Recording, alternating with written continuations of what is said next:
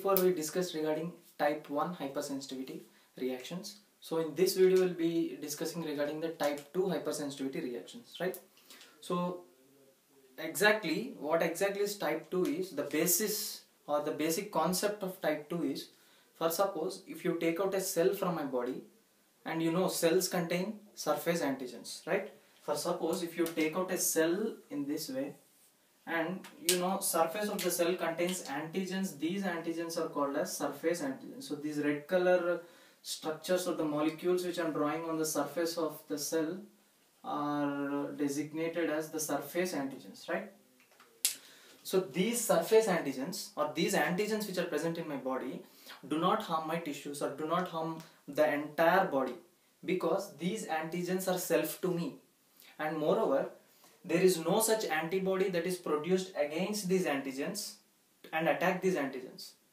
Because why there is no production of antibodies against these antigens? Because these antigens belong to me. They are my antigens right? So no antibodies are produced against those. For example for suppose if i take this antigen and inject into one individual right? Then what happens is that this antigen which i'm injecting into that individual becomes non-self to him right? So immediately his immune system recognizes that the antigen which has entered or the antigen which has injected as non-self and immediately starts producing antibodies and these antibodies attack on my antigen which I've injected now right? So this is the basis of immunity. The best classical example this is the basis of this immunity as well as this entire type 2 hypersensitivity. The best classical example to explain this type 2 hypersensitivity is blood groups. As you know there are there is one most frequently used system of blood group that is abo rh factor system right? So we'll be discussing it right now. And we'll see how it works in type 2 hypersensitivity. For example you take this cell right? The surface of the cell has antigens and in the plasma you find antibodies. This is the blood taken from an individual, the surface of the cell containing antigens and the plasma is containing antibodies. So when you examine this cell, you find that there are antigens that are located on the surface of the cell which are named as antigen A. It means that the blood group is of type A and antibodies are of B. Right? Generally, the nomenclature which we use for antibodies is anti-B antibody. Anti-B antibody. Right? A blood group contains surface antigens A of type A as well as plasma antibodies of type B. Now the question is that why there is no type A antibody produced against this antigen type A because and as you know antigen antibody interactions type A antigen reacts with type A antibody right? So if there was type A antibody immediately there would be a reaction between this antigen and antibody and the entire blood results in the formation of a clot or the entire blood undergoes coagulation. So that is the reason why there is no type A antibody. Instead of type A antibody, the nature has provided us type B antibody, right? Now when we go with another blood group of an another individual, we found that the surface antigens are of type B and the antibodies are of, obviously the antibodies will be of type A. The surface antigens are of type B. Then the antibody, anti dash antibody. What is that anti dash antibody? It is nothing but anti A antibody. Right? Now we go with the third type of blood group. So this blood group system was familiarly discussed before.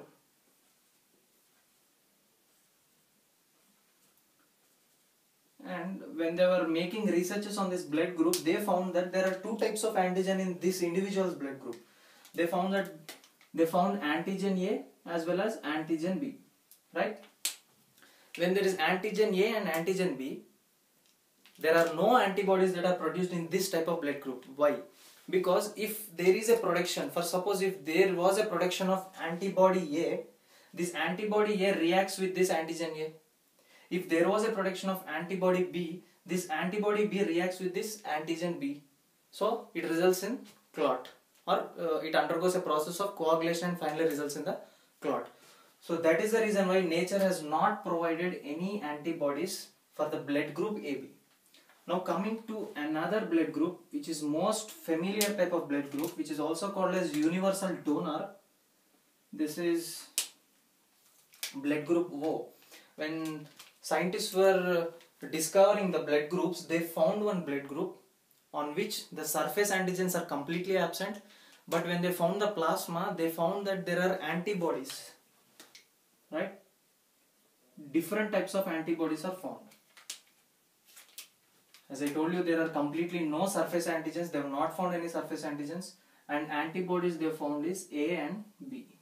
Two antibodies. If antigens would have been there, then they definitely react with these antibodies A and B. That is the reason why nature has not provided any antigen for this type of blood group. Now, sorry I didn't mention these antibodies. Generally they are Y-shaped. Right. So the first category when we see this type of blood group, blood grouping individuals who are having as antigen A and anti-B antibody, these individuals are named as, or these individuals, their blood is named as type A blood. When coming to this situation, they are named as type B blood. And coming to this situation, it is AB and this is O. O are also called as null or zero blood group. Right? So this is the ABO system. As you know, you are familiar with this ABO system and ABO system is the basis for type 2 hypersensitivity. And moreover, as I told you, type 1 hypersensitivity is the most common type of hypersensitivity which you find in most of the clinics. Type 2 hypersensitivity is the most less commonly occurring hypersensitivity, right? For suppose if I take out A blood group and I merge with the individual having B blood group, right? If if I transfuse the blood, if I transfuse the incompatible bloods, for suppose instead of supplying A blood group to A individual, if I supply to B individual, then this type 2 hypersensitivity alters. For suppose if I give A B blood group to O individual, type 2 hypersensitivity alters. So what exactly happens if we transfuse incompatible bloods to the individuals? Right? For example, for an example, we'll take A blood group into consideration. So this is one individual's body system. This is another individual. Okay. Now, we'll just say that this individual is of type A type A and this individual will take him as type B.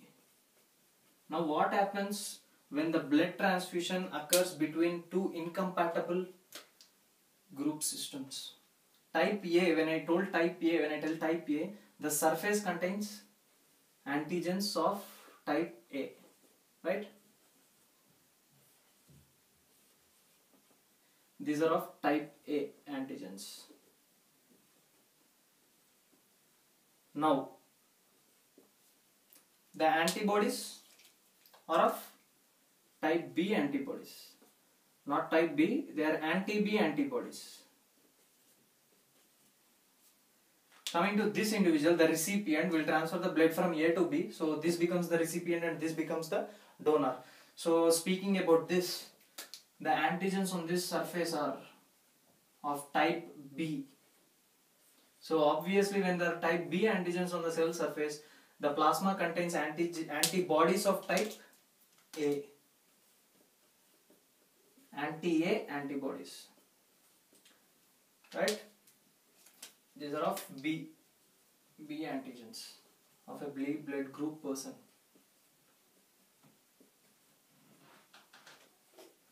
Now, now I have transfused the blood into a wrong person or an incompatible blood group, right? If there is an incom- incompatible blood transfusion, what exactly happens is that, as I told you, antigen reacts with antibody. If there is type A antigen, then this type A antigen is reacted with type A antibody. If there is type B antigen, it reacts with type B antibody, right? So on the surface of this type A blood group, we find these antigens are of type A.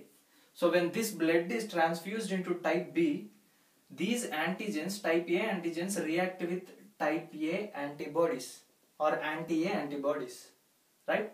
So A reacts with A. Antigen A reacts with antibody A. In the same way, in the plasma here you find anti-B antibodies and on the surface of the cell you find antigen B. So antigen B reacts with antibody B. When there is such reaction that is happening in the body, such reactions when they are happening in the body, I've shown, I've explained the process in one cell, but there are some millions and millions of RBCs. So when there is a reaction between antigen and antibody for the millions and millions of RBCs, it leads to coagulation, coagulation of entire blood. Coagulation leads to formation of clots. When there is formation of clot, it leads to bad blood circulation, which we also call it as hypoxia. When there is a hypoxic condition, definitely the tissue which has to be supplied with oxygen rich blood is completely dead, which we also call as necrosis. Right? So this is the process that is happening. If there is an incompatible transfusion of blood between A and B or any other incompatible transfusions, not only this, immediately type 2 hypersensitivity gets altered. And one of the most frequently or most commonly when you see between the mother as well as the fetus is uh, such a type of type 2 hypersensitivity which we also called as HDNB or erythroblastosis fetalis. So we'll be discussing regarding that now.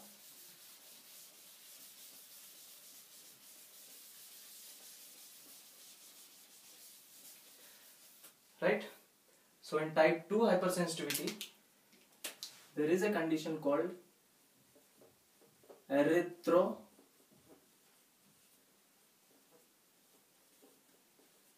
blastosis fetalis. Erythroblastosis fetalis. Uh, the other name, the less familiar name, is also called as HDNB.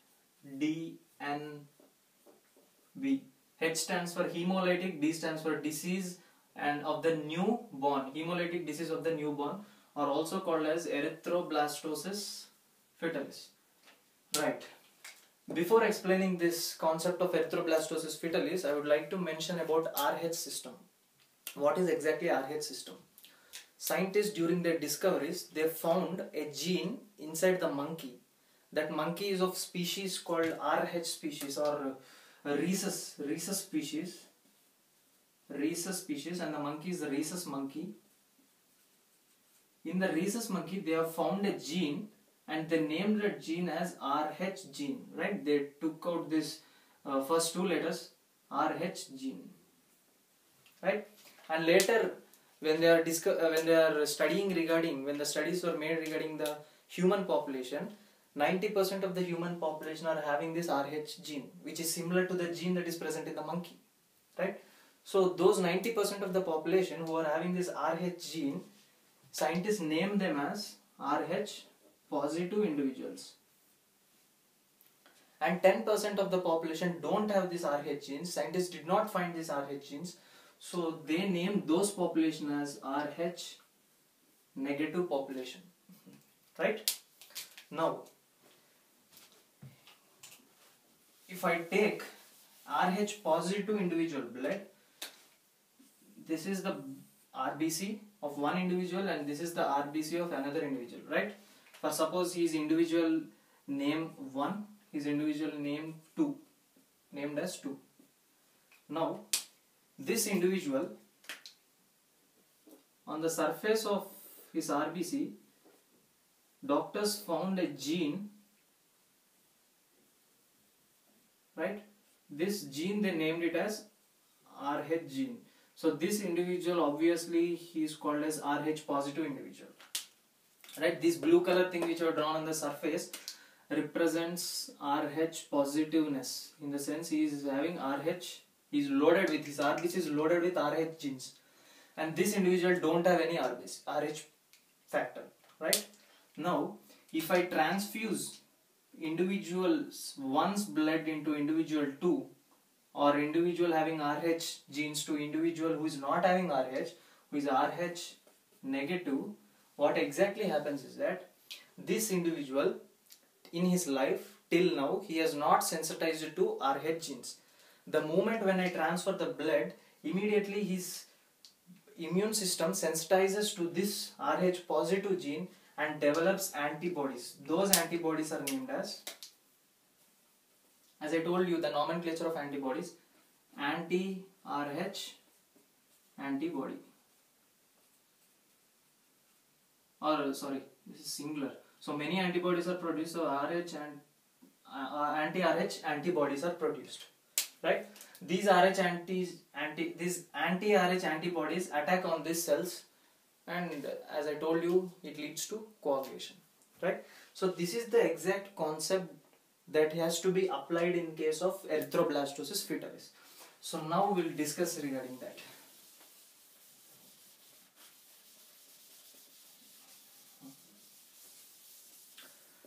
Now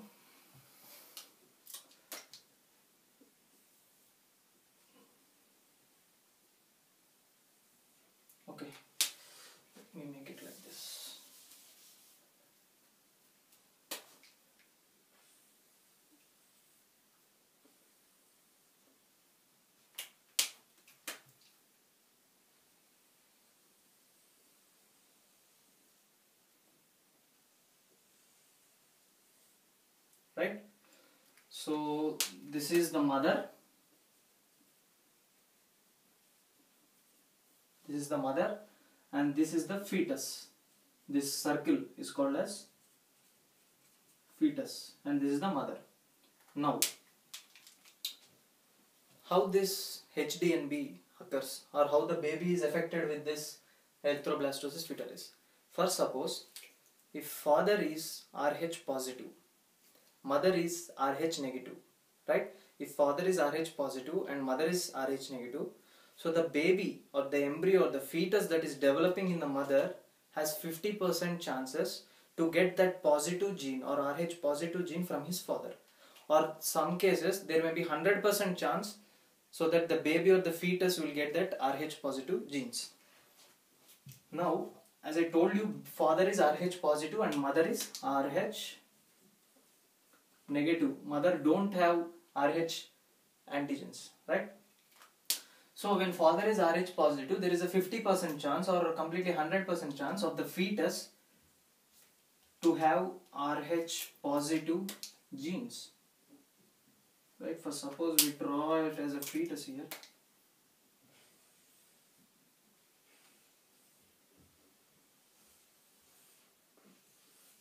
Right? This is the fetus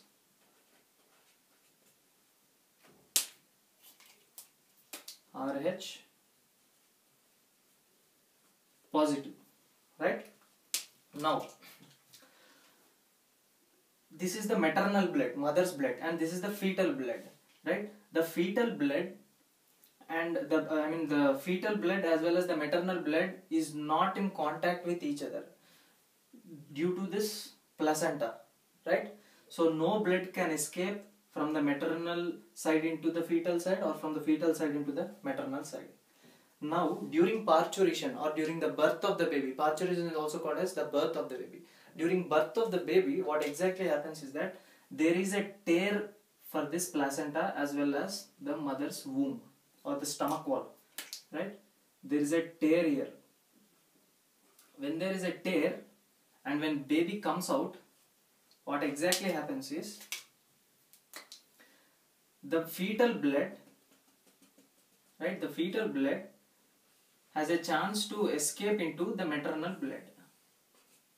When the fetal blood escapes into maternal blood or exactly speaking when rh positive blood during parturition when it escapes into rh negative mother immediately RH negative mother or the immune system in the RH negative mother sensitizes to this RH positive blood and starts developing anti-RH antibodies. So the type of anti-RH antibodies that are produced in this erythroblastosis fetalis are of IgG type. IgG type. The speciality of this IgG type is they are so small that they can penetrate easily through any structure or through placenta or anything. Through placenta generally IgG only penetrates because IgG antibodies are so small. No other antibody can penetrate into the placenta. Right? So IgG antibodies are produced. These IgG antibodies are anti-RH type of anti-RH antibodies. Now, if a mother has second pregnancy, this is the mother, I mean sorry, this is the fetus and this is the womb of a mother. Right? Now,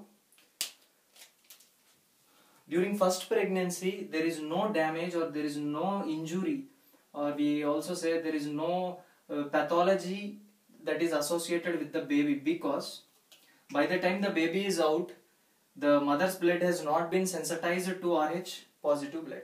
Now when the baby is out there is a fusion of or there is a transfer or escaping of blood of positive into the negative then immediately there is a production or uh, uh, sensitization of IgG antibodies right? Now the mother's blood is richly loaded with IgG antibodies IgG is richly loaded with IgG antibodies. As I told you, IgG antibodies have a special special character that they're so small so they can cross through the placenta. Now what exactly happens is that in the developing fetus, this is first pregnancy. This is during first pregnancy and this is during the second pregnancy. During second pregnancy in the same mother when the fetus is getting developed right? When the fetus is getting developed what exactly happens is that previously due, due to first pregnancy the mother blood has been sensitized to rh positive blood. So as a result of that mother developed igg antibodies. As i told you igg antibodies are so small that they can cross through the placenta and enter into the fetus and completely damage the baby. They cause many pathologies in the baby and finally lead the baby to erythroblastosis, a condition called as erythroblastosis fetalis, where the baby completely has a lethal death, right? So, what are the symptoms? How to identify when the baby during parturition? How to identify that the baby is affected with erythroblastosis fetalis or not? The first thing which you need to identify is that the color of the skin. The patient or the baby that is affected with HDNB or erythroblastosis fetalis the skin is pale color. So these are the important points which I'm mentioning here. The skin is pale color. Why the skin is pale color? Because there is an clotting of blood inside the babies or inside the fetus strictly speaking inside the fetus right? There is a clotting of blood or coagulation of blood. When there is coagulation of blood then the blood is no more oxygen rich or no more useful to the tissues. We can also say that uh, there is a blood loss in that due to coagulation. So it finally leads to anemia. When there is a condition called as anemia or the blood loss the skin color becomes pale right? Pale color due to anemia the second thing, there is an enlargement of liver, which we also call as hepatomegaly, and enlargement of spleen called as splenomegaly, right? Hepatomegaly as well as splenomegaly, enlargement of hepatic gland, I mean the liver as well as spleen. The third thing is hydrops fetalis. Hydrops fetalis. This is a condition where there is a lot and lot of accumulation of fluid in one or two compartments more than one or two compartments of fetus. When you take down the fetus and divide into compartments for suppose compartments in the sense the portions of our body right if the fluid is accumulated the fluid is generally accumulated in one or more compartments in the sense the fluid is accumulated in the pericardium causing pericardial effusion. The fluid is accumulated in the pleural cavity causing pleural effusion. The fluid is also accumulated under the skin called as subcutaneous accumulation. And the fluid is also uh, accumulated in the abdomen causing ascites right? So in hydrops fetalis the fluid is accumulated in one or more compartments in the sense one or more places right? Resulting in the formation of pleural effusion. Pleural effusion as i told you fluid inside the pleural cavity right? And pericardial pericardial effusion. And thirdly uh, subcutaneous subcutaneously subcutaneously also the fluid is accumulated. And fourthly and lastly ascites i mean abdomen abdominal accumulation of such fluid abdomen abdominal that is ascites a c c i t e s ascites right? So these are the conditions or these are the symptoms which we can see. And one more thing i forgot i'm sorry. The fourth thing is that after the baby birth right after parturition within 24 to 36 hours the baby initially the color of the baby is pale color right due to anemia. But after 24 to 36 hours the color of the baby turns to yellow. The eyes i mean the sclera turns to yellow. It, due to the reason is that bilirubin release. I mean to say it is jaundice there is a lot and lot of bilirubin that is uh, released into the bloodstream causing jaundice. And this jaundice occurs it is important to remember 24 to 36 hours after the baby birth. Initially you may find the pale color but later you find jaundice. So these are the four major symptoms which you need to remember. If a child is affected with erythroblastosis fetalis so this is completely about type 2 hypersensitivity so the next video will be regarding type 3 and later type 4 thank you